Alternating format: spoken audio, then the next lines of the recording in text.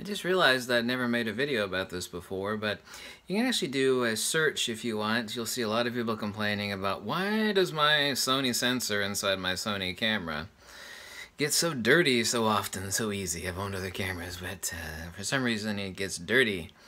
This has nothing to do with the Sony sensor.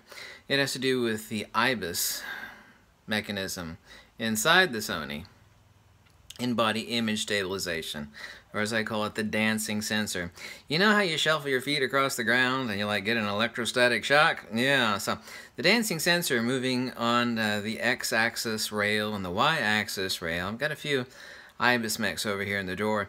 When they actually move to stabilize the image, they create electrostatic charge and service the sensor, and what that does is acts like a vacuum for dust particles.